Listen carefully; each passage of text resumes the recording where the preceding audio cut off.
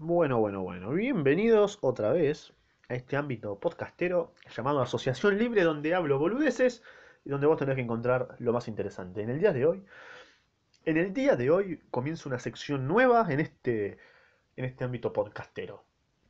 Hoy vamos a empezar a leer la obra de teatro de eh, Molière, se llama llamado El médico a palos, que se escribió seguramente hace 400 años, igual que El Avaro, que ya, te, que ya hice el resumen, que lo podés ir a ver, y si no lo querés ver, morite. Hoy vamos a, leerlo y lo vamos a dividir en tres partes, ¿ok? Van a haber tres podcasts mientras lo vaya leyendo, que no sé de cuánto durarán, supongo que durarán entre media hora y 45 minutos cada, cada uno, así que anda preparándote psicológicamente, porque voy a estar haciendo lo que vos no haces porque sos un pajero, o porque no tenés ganas de ir a comprarlo, o porque está caro, o porque eh, se te desguinzó un huevo y no querés ir a comprarlo. Así que o, que, o te da paja también leerlo en PDF. Así que yo lo voy a leer por vos. Imagínate hasta dónde llegó el internet que encontrás a un salame como yo que te lo lea y hasta, y hasta le ponga expresión a los personajes. Así que se llama El médico a palos por Molière. No voy a leer eh, los personajes ahora, los iré leyendo a medida que vaya transcurriendo la trama para ir entendiendo mejor. Eh, bueno, lo primero que dice es, la escena representa en el primer acto un bosque y en los dos siguientes una sala de casa particular, ¿ok? Una, la primera escena que está Sagnarelle, que Sagnarelle es, es un leñador y esposo de Martina, la cual aparece en la primera escena, así que van a hablar. Es, no, es. ¿Cómo se llama? Ganarele. Es Ganarele. Bueno, le voy a decir. es Ganarele. Es Ganarele con Martina, que son marido y mujer. ¿Ok? Comienza hablando. Es Ganarele. No, te digo que no quiero hacer nada de eso. Y que me corresponde a mí hablar y ser el amo. Y yo te digo que quiero que vivas a mi antojo. Y que no me he casado contigo para aguantar tus excesos. Ay, qué trabajo es tener mujer. Hay que tener... Ay, qué trabajo es tener mujer. Ah, o sea, como que, ah, qué hijo de puta. Ay, qué trabajo que es tener mujer. Bien dice Aristóteles que la mejor es peor que un demonio. Vean al hombre entendido con su bendito Aristóteles. Sí, un hombre entendido. A ver si encuentras un leñador que sepa, como yo, razonar las cosas, que haya servido seis años a un médico famoso y sabido en su infancia sus rudimentos de memoria. Maldito el loco rematado. Maldita sea la miserable. Maldita sea la hora en que me casé contigo. Y maldito sea el pícaro escribano que anduvo en ello. Que seas tú realmente el que te quejes de este matrimonio. ¿No deberías estar en todo momento dando gracias al cielo por tenerme como esposa? ¿Y merecías casarte con una persona como yo? Verdad, es que me hiciste demasiado honor, y que tuve ocasión de alabarme la noche de bodas. Eh, por Dios, no me hagas hablar de eso, pues diría ciertas cosas. Ah, ¿sí? ¿Qué? ¿Qué dirías? Basta, dejemos ese capítulo. Es suficiente con que, se, con que sepamos lo que sabemos y que fuiste muy dichosa en encontrarme. Ah, pará, ¿quién sos? ¿Quién sos? Esnarele. Chupala, puto. Martina, eh, ¿a qué llamas tu ser muy dichosa en encontrarte? Un hombre que me condena al hospital, un libertino, un traidor que se come todo cuanto tengo. Mientes, me bebo una parte. Ah, bueno, está bien. Que me vende prenda a prenda todo lo que hay en casa. Eso es ser casero. Que me ha quitado hasta la cama que tenía. Ah, sí te levantarás más temprano. Ah, recínico. que no me deja, en fin, un solo mueble en toda la casa. Así puede uno mudarse con más facilidad. Y que desde que amanece hasta que anochece no hace más que jugar y beber. Eh, es para no aburrirme. ¿Y qué quieres que haga yo con mi familia entre tanto? Eh, todo, cuanto te plazca. Tengo cuatro niñitos encima. Bueno, déjalos en el suelo. Que me piden pan sin cesar. Y dale azote, cagalos a palos. Ah, renací, renací Gnarele. Dale azote. Cuando he bebido y he comido bien, quiero que esté todo el mundo harto en mi casa. ¿Y pretendes, borracho, que las cosas sigan siempre igual? Mujer, vayamos despacio, si te parece. ¿Que soporte eternamente tus insolencias y tus excesos? No nos acaloremos, esposa. ¿Y que no sepa yo encontrar manera de restituirte a tu, a tu deber? Esposa, ya sabes que no tengo un alma sufrida y que mi brazo es bastante sólido. Me burlo de tus amenazas. Mujercita mía, amiga, te pica la piel de ordinario. Ya te demostraré que no tengo el menor miedo. mi cara mitad. Tienes ganas de robarme algo. ¿Crees que me espantan tus palabras? dulce objeto de mis ansias, te arrancaré las orejas, ¿no? Borracho, ah, te zurraré. So pellejo, que no sé qué significa. Te cascaré, infame, te daré una golpiza. Ah, bueno, está bien. Renazi el Esnarele, violencia de género alert. Martina. Traidor, insolente, mentiroso, cobarde, sinvergüenza, andrajoso, bribón, ruin, pícaro y ladrón. Ahí tienes un, top de, insultos con elegancia. Ah, ¿quieres verlo? Esnarele toma un palo y golpea a su mujer. Martina gritando, ¡ay, ay, ay, ay! Esnarele este es el mejor medio de apaciguarte, ¿no? Amigo, muy nazi la primera escena. O sea, el chabón cagando, cagando la pala a Martina. Violencia de género muy, muy fuerte. Eh, bueno, nada, vamos a la. Voy a la próxima escena. Que está el señor Roberto. Es Narelli Martín. El señor Roberto. A ver quién carajo es. El señor Roberto. El señor Roberto es el vecino de Gnarelli. Así que está el vecino Roberto, Gnarelli Martina en su bella casa. Segunda escena y comienza hablando el señor Roberto. Bueno, bueno, bueno, ea, ¿qué es esto? ¡Qué infamia! Maldito el bribón que pega así a su mujer. Martina al señor Roberto, con los brazos en jarras, haciéndole retroceder al hablar y dándole por último un bofetón. Ah, revoluda. Pero si yo quiero que me pegue. Ah, ¿Qué? Roberto. Ah, entonces accede a ello gustoso. ¿Por qué se mezcla en esto? He hecho mal. ¿Es un asunto suyo? Tiene razón. Vaya con el impertinente que quiere impedir a los maridos que peguen a sus mujeres. Me retracto. ¿Qué tiene usted que ver en esto? Eh, nada. ¿Lo ha mandado a alguien meter aquí la nariz? No. Ocúpese en sus asuntos. Bueno, no digo una palabra, está bien, me quedo pillo. me gusta que me peguen. Ah, re. Bueno, capaz tenía un, cierto tipo de fetiche, ¿qué sabes? Señor Roberto. Bueno, de acuerdo. No es cosa suya. Bueno, ya entendimos, Martina, que no es cosa tuya. Señor Roberto, es cierto. Y es un necio en venir a meterse donde nada tiene que hacer. Le da otro bofetón. Bueno, pará, amiga. Calmate. Roberto se dirige hacia. No, eh, Roberto se dirige luego hacia el marido, que le habla de un modo parecido, haciéndolo retroceder. Lo golpea con el mismo palo y lo hace huir.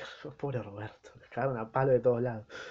Compadre, te pido perdón con toda mi alma. Sigue, zurra, pega como es debido a tu mujer. ¿Qué? Te ayudaré si quieres. No, amigo, muy nazi. Esnarele. No quiero. Ah, eso es otra cosa. Quiero pegarle si me da la gana, y no quiero pegarle si no se me antoja. Bueno, muy bien. Es mi mujer y no la tuya. Eh, indudablemente. No tienes que mandar, no tienes que mandarme nada. ¿Conforme? No necesito de tu ayuda. Bueno, perfectamente. Y eres un impertinente por meterte en los asuntos ajenos. Sabe que Cicerón dice que entre el árbol y el dedo no hay que poner la corteza. Golpea al señor Roberto y lo echa, volviendo hacia su mujer y estrechándole la mano. Ea, hagamos las paces nosotros. Chócala. Martina. Oh, después de haberme pegado así. Eso no es nada, choca. No quiero. ¿Eh? No. Mujer. Mujer mía. Nones. Que soy el burro. Vamos, te digo. No lo haré. Ven, ven y ven. No, quiero estar furiosa. Bah, es una tontería. Vamos, vamos. Déjame ya. Choca, te digo. Me has sacudido demasiado. Pues bien, vaya, te pido perdón, choca la mano. Te perdono, eh, pero me la pagarás. Eres una loca en preocuparte por esto. Son las cosillas necesarias de cuando en cuando, en la amistad. Y cinco o seis palos entre personas que se, que, que se quieren sirven para fortalecer el cariño. Bueno, me voy al bosque y te prometo, y te prometo hoy más de un ciento de haces. Eh, bueno, eh, en esta escena, entrando en la escena, lo, apareció el vecino y lo cagaron a palo, básicamente, eh, por meterse. Y era como que en esta época, o sea, la mina dice que le gusta que le peguen, pero obviamente no, no le gusta que le peguen, boludo, dale, mira si una persona le va a gustar que le peguen, a no ser que estén cogiendo, o sea, raro, ¿me entendés? Eh, y bueno, después aparece como que, como que Martina quedó un poquito furiosa y sí, obviamente, ¿no? Quedó un poquito ofendida. Mira, me cagaste a palo. Y es como que, y un cierto rencor tengo hacia vos, ¿viste? Bueno, eh, aparece otra escena donde Martina habla sola y dice lo siguiente: Ve, aunque ponga esta cara, no olvidaré mi resentimiento y ardo en deseos de encontrar la manera de castigarte por los golpes que me das. Ya sé que una mujer tiene siempre en sus manos con qué vengarse de un marido. Ah. Mas ese es un castigo demasiado suave para mi sinvergüenza. Quiero una venganza que se deje sentir un poco más. Y eso no bastaría para la injuria que he recibido. Bueno, se ve que Martina quiere vengarse de su marido y me parece, no sé si lo mejor, pero es interesante y sirve para esta trama. Así que bueno, aparecen dos personajes nuevos ahora, Valerio y Lucas, que a ver quién carajo son. Valerio es el criado de Geronte y Lucas es esposo de Jacqueline, que no sé quiénes son. Así que solamente digamos Valerio y Lucas. Eh, bueno, son hijos de... ¿Hijos? Sí. Para, porque yo, me olvido de todo tan rápido, boludo. Soy un boludo. Ah, no, uno es hijo de Geronte y otro es esposo de Jacqueline. Ok, bueno. Eh, empieza hablando Lucas. Lucas le habla a Valerio sin ver a Martina. Vaya, que los dos hermanos, que los dos hemos tomado una buena comisión. Y no sé yo todavía qué regalo tendremos por este trabajo. Valerio, a Lucas sin ver a Martina. ¿Qué quieres, mi pobre compadre? Es, preciso obedecer a nuestro amo. Y además nos interesa a los dos la salud de su hija, nuestra ama, y sin duda su casamiento aplazado por su dolencia nos valdrá alguna recompensa. Horacio, que es generoso, pone gran empeño en las pretensiones que puedan tener sobre su persona, y aunque ella haya mostrado amistad por, por cierto Leandro, ya sabes que su padre no ha consentido nunca en aceptarlo como yerno. Como yerno. Martina, soñando aparte y creyéndose sola. Que no, que no pueda yo imaginar alguna invención para vengarme. Lucas a Valerio. Más, ¿qué capricho se le ha metido en la cabeza, puesto que todos los médicos se han afanado en vano? Valerio a Lucas a fuerza de buscar se encuentra a veces lo que no se halla al principio, y con frecuencia en lugares sencillos. Martina, que se sigue creyéndose sola. Pues ello es preciso, que los golpes que me ha dado los tengo en el corazón. No puedo olvidarlos. Tropezando con Valerio y Luca. Pero, señores, perdonen ustedes, que no los había visto. Porque estaba distraída. Eh, Valerio. Cada cual tiene sus cuitas en este mundo. Y también nosotros buscamos los que quisiéramos encontrar. Martina. ¿Es algo en que puedo ayudarlos? Y empiezan a hablar Valerio y Martina. Eh, Valerio continúa. Pudiera ser. Intentamos dar con, algunas, con algún hombre hábil, algún médico particular, que pudiese proporcionar cierto alivio a la hija de nuestro amo, atacada de una dolencia que le ha quitado de pronto el uso de la lengua. Varios galenos han agotado ya toda su ciencia junto a ella. Más se encuentra a veces personas que poseen secretos admirables, ciertos remedios especiales que logran con frecuencia lo que los otros no han conseguido. Y esto es lo que buscamos. Martina. Mm, ay, qué idea me ocurre. Pues mire usted, aquí tenemos el hombre más sabio del mundo, que hace prodigios en esos males desesperados. ¿Y en dónde lo podemos encontrar? Eh, cortando leña en ese monte. Ah, Lucas, un médico cortando leña. Valerio, estará entreteniéndose en buscar algunas hierbas medicinales. Martina, no, señor, es un hombre extravagante y lunático. Va vestido como un pobre patán. Hace empeño en parecer ignorante y rústico y no quiere manifestar el talento maravilloso que Dios le dio. Valerio, cierto que es cosa admirable, que todos los grandes hombres hayan de tener siempre algún ramo de locura, mezclada con su ciencia. Martina, eh, la mamá de este hombre es la más particular que se ha visto. No confesará su capacidad a menos que no le muelan el cuerpo a palos. Ok, y así les aviso a ustedes, que si no lo hacen no conseguirán su intento. Si lo ven que está obstinado en negar, tome cada uno un buen garrote y zurra, que él confesará. Nosotros cuando lo necesitamos nos valemos de este truco y siempre nos ha salido bien. Mm, qué extraña locura. Es cierto, más después de eso ya verán cómo hace maravillas. ¿Y cómo se llama? Egnarele, fácilmente lo conocerán ustedes. Es un hombre con una gran barba negra que tiene un lunar y lleva un traje amarillo y verde. Un traje amarillo y verde. ¿Es entonces médico de loros? Valerio. ¿Y ese hombre hace unas curas tan difíciles? Martina. Eh, ¿Curas, dice usted? Milagros se pueden llamar. Hace seis meses que murió una pobre mujer y ya iban a enterrarla, cuando trajeron a la fuerza al hombre del que hablamos. Se acercó, examinó a la difunta, sacó un frasquito del bolsillo le echó en la boca una gota de no sé qué y la muerta se levantó tan alegre de la cama y empezó enseguida a pasearse por su aposento como si no sucediera nada. ¡Ah, re! O sea, revivió un muerto. ¿Quién era? Anda a cagar. Ah, sería alguna gota de oro potable. Como que yo lo vi. Mire usted, aún hace, no hace tres semanas que un chico de unos 12 años se cayó del campanario, se le rompieron las piernas y la cabeza contra el empedrado no bien hubieron traído a nuestro hombre, cuando le frotó todo el cuerpo con cierto ungüento que él sabe hacer, y el niño se puso de pie inmediatamente y corrió a jugar a las bolas. Ese hombre debe conocer la medicina universal. ¿Quién lo duda? Pues ese hombre es el que necesitamos nosotros. Vamos a buscarlo. Valerio, le damos las gracias por la satisfacción que nos da. Martina, pero sobre todo acuérdense ustedes de la advertencia de los garrotazos. Eh, por Dios, déjanos hacer. Si solo depende de zurrar, la presa es nuestra. Valerio a Lucas. Hemos tenido mucha suerte con este encuentro, y me hace conservar por mi parte las mejores esperanzas del mundo. Ok, eh, acá terminó la cena. Bastante picante, ¿no? Porque Martina eh, le manda a dos chabones a que lo caen a palo para que le cuente cómo curar gente. O sea, qué carajo. Eh, muy, muy picante. en la próxima escena aparece Gnarele, Valerio y el muchacho Lucas. Así que vamos a ver si lo cagan a palo, como se merece, ¿no? O capaz es Gnarele, es, es Naral, es, es ganarale, es ganarele, es ganarele, es ganarele. No, no sé cómo pronunciarlo. Yo voy a decir Gnarele, a la mierda. Narele. que es el leñador puto. Eh, esta escena aparece Narele, Valerio y Lucas. Ex Narele, cantando. La, la, la, la, la. Valerio. Oigo cantar y cortar leña a alguien. Ex Narele, entrando en escena con una botella en la mano, sin ver a Valerio ni a Lucas. La, la, la, la, la. A fe mía ya he trabajado bastante para beber un trago. Tomemos aliento. Después de haber bebido, esta leña pesa más que cien diablos. Canta, bueno, voy a cantar. Qué dulces son, linda botella, qué dulces son el de tu leve borbotón. Cuánta envidia yo tendría de ver tu panza siempre llena. Yo te pregunto, amiga buena, ¿por qué al final estás vacía? Ea, por Dios, no nos pongamos melancólicos. Valerio, creo que no te falta razón y que lo tenemos adelante. Valerio, veamos, veámoslos de cerca. Esnarele, besando su botella. Ah, picarona, ¿cómo te amo, corchito mío?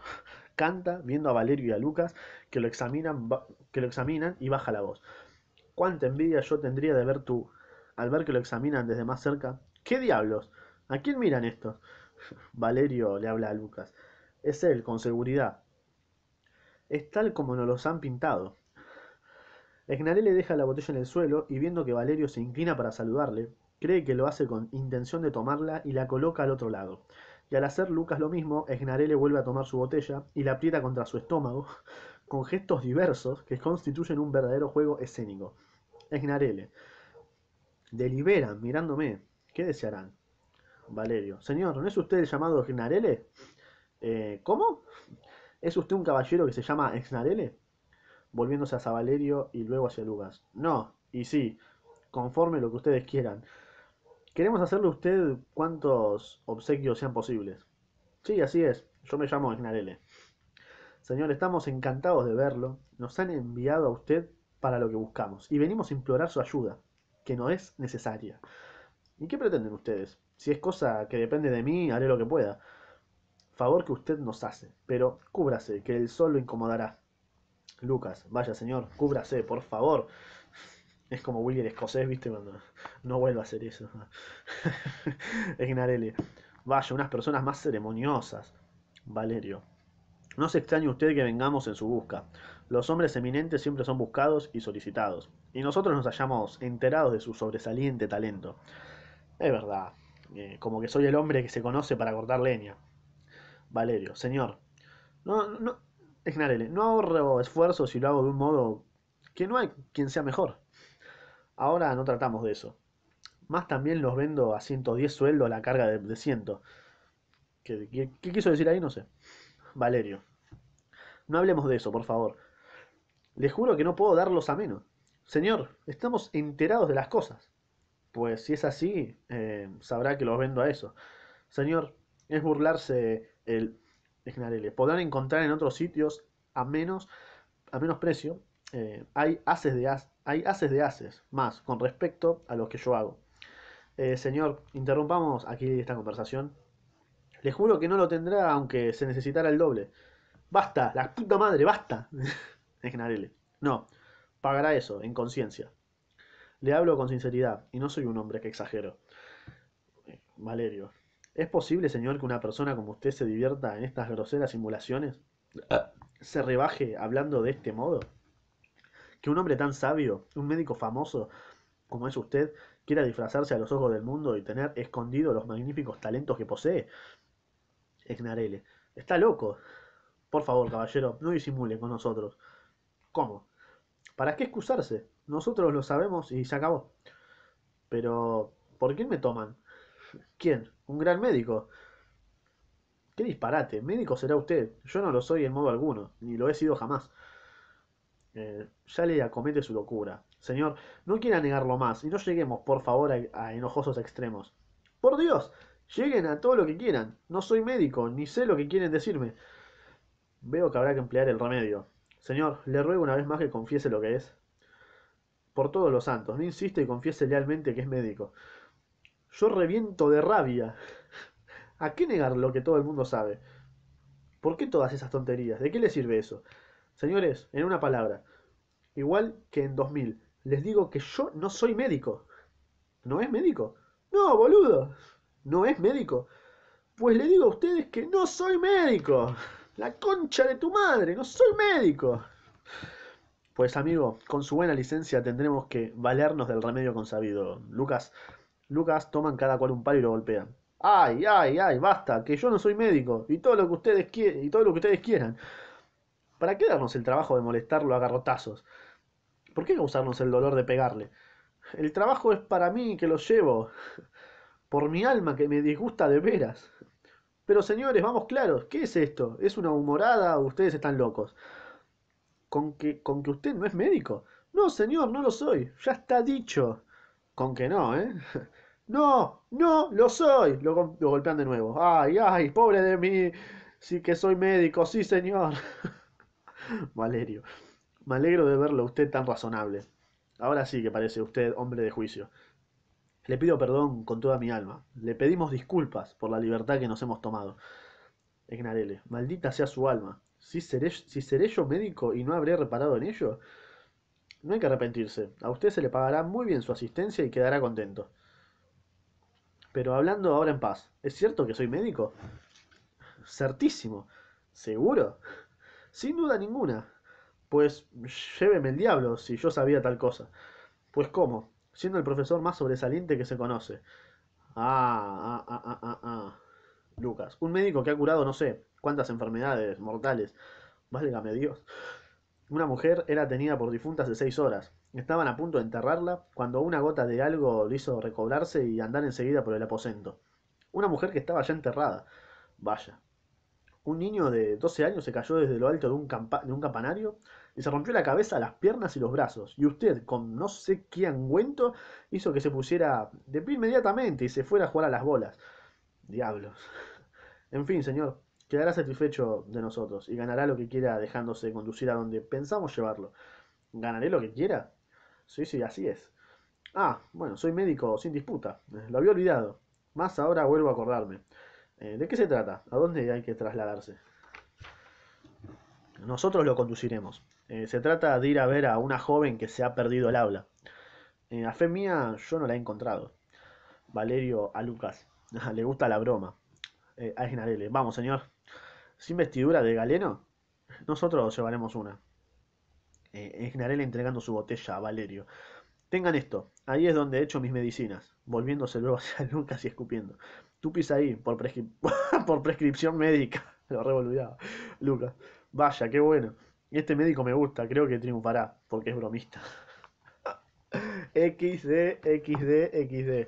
Eh, bueno, bastante picante el asunto. Bueno, parece que capaz que el Esnarele es médico, pero tipo es como las abuelas, viste, que tienen siempre algo que darte, que no se te duele la panza y te dan algo mágico y te cura. Capaz es eso es ser médico para él, ¿me entendés? O para ellos. Quién sabe. Bueno, última escena y terminamos el podcast, muchachos o muchaches. En esta escena, la escena representa un aposento en la casa de Geronte. Ahora está Geronte, Lucas, Valerio y Jacqueline. Geronte es un, el dueño de la casa, al parecer, obviamente.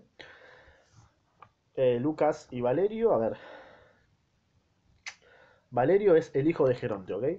Lucas es esposo de Jacqueline. Ah, Ok, está Lucas, que es esposo de Jacqueline, y Geronte y Valerio, que son padre e hijo. Eh, sí, ¿no? Así, sí, perfecto. Lucas, sí, repito, para vos, para tu mente escasa, igual que la mía. Geronte y Valerio son padre e hijo, y Lucas y Jacqueline son eh, marido y mujer, ¿ok? Esta escena transcurre entre ellos cuatro.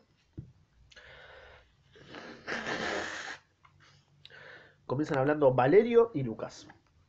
Valerio, sí, señor, creo que quedará satisfecho, ya que le hemos traído al más grande de los médicos del mundo. Lucas, oh por Dios, hay que tirar la casa por la ventana, y todos los demás no, sirven ni para descalzarlo. Es un hombre que ha realizado curaciones asombrosas, que ha sanado a gente que estaba muerta. Es un tanto caprichoso, como ya le he dicho, y a veces tiene momentos en que sale con, afirmaciones extrañas y no parece lo que es. Sí, sí, así es. Eh, le gusta chancearse y a ratos se diría con su permiso que tiene vena de loco. Más en el fondo en todo, es todo ciencia y con frecuencia dice cosas muy elevadas. Cuando se le antoja habla con gran talento, como si leyese un, un libro. Eh, su fama se ha difundido hasta aquí y todo el mundo acude a él. Geronte. Ardo en deseos en verlo. Tráiganlo aquí, pronto. Valerio, voy a, voy a buscarlo. Jacqueline. A fe mía, señor, este hará lo que han hecho los otros. Creo que será lo mismo, y la mejor medicina que podrían dar a su hija sería, a mi entender, un apuesto y un buen marido por el que sienta amor. Geronte. Por Dios, amiga, te metes en todo. Lucas, calla, Jacqueline, no tienes que meter la nariz en esto. Jacqueline. Te digo y te repito que todos estos médicos no darán más que agua clara. Su hija necesita otra cosa que el ruibarbo y el zen. Y el marido es el emplasto que cura todos los males de las mozas. Un resfrío fuerte. Geronte, ¿se halla ahora en estado de que quiera alguien cargar con ella, dada la dolencia que sufre? Y cuando he querido casarla, ¿no se ha opuesto a mi voluntad? Jacqueline, ya lo creo. quiere darle a un hombre, quiere darla a un hombre al que no ama. ¿Por qué no escoger al señor Leandro, que conmueve su corazón? Entonces le hubiera obedecido sin rechistar, y, apuesto cualquier cosa a que él la tomaría, tal como es, si quisiera dársela. Era un perro, boludo. Geronte. El tal Leandro no es el que le conviene. No tiene fortuna como el otro. Jacqueline. Tiene un tío muy rico, del que es heredero. Geronte. Todos esos bienes futuros me parecen otras tantas cantilenas. No hay nada como lo que se posee y corre uno el riesgo de engañarse cuando se cuenta, se cuenta con los bienes que otro le reserva. Uh, fuerte, picante ese mensaje. La muerte no siempre tiene los oídos abiertos a los deseos y a las peticiones de los señores herederos. Y se le ponen a uno los a uno largos los dientes cuando se espera, para vivir el fallecimiento de alguien. Jacqueline. En fin, he oído siempre decir que en el matrimonio, como en otras cosas, la dicha prescinde de la riqueza. Los padres y las madres tienen la condenada costumbre de preguntar siempre ¿Cuánto tiene él? ¿Cuánto tiene ella? Y mi compadre Pedro ha casado a su hija Simona con el gordo Tomás porque tenía una fanega de viña más que el joven Robin, al que consagraba a ella su querer. ¡Ah! Y vean a la pobre criatura que se ha quedado amarilla como un membrillo y que no ha mejorado desde ese día. Es un buen ejemplo para usted, señor. Solo importa el gusto de una en este mundo. Y yo preferiría dar a mi hija a un buen marido que le fuese agradable a todas las riquezas de la comarca. Geronte, por Dios, mi señora nodriza, ¿cómo hablas? Cállate, te lo ruego. Te preocupas demasiado y, revuelves tu leche. ¿Qué? Lucas, golpeando a cada frase que pronuncia sobre el pecho de Geronte. Por todos los diablos, calla. Eres un impertinente. Al señor no le interesan tus discursos y ya sabe lo que tiene que hacer. Ocúpate en dar la teta al niño sin echártelas tanto de discutidora el Señor es el padre de su hija y es bueno y cuerdo para ver lo que ella necesita. Geronte, poco a poco, oh, poco a poco. Lucas, volviendo a golpear sobre el pecho de Geronte. Señor, quiero mortificarla un poco y enseñarle el respeto que le debe. La cara, palo, la concha de tu madre. Basta de violencia, muchacho. Geronte, sí, más esos gestos no son necesarios. Eh, bueno, hasta acá será el podcast de, esta primera parte del médico a palos, donde hay mucha violencia. Eh, no sé si está bien o mal, pero hay, violencia. No sé si, bueno. Esto es todo por. Esta es la primera parte del médico a palos. Espero que lo hayas disfrutado. Espero que hayas llegado hasta acá. Así podés estar expectante para el próximo podcast que va a salir en dos días. ¡Ah! Me estoy estirando porque es hermoso. Eh, y nada, espero que no te olvides de los personajes en dos días. y nos vemos en el próximo. En la, en la segunda parte, ¿sabes? Así que nos vemos, guachín. Cuídate.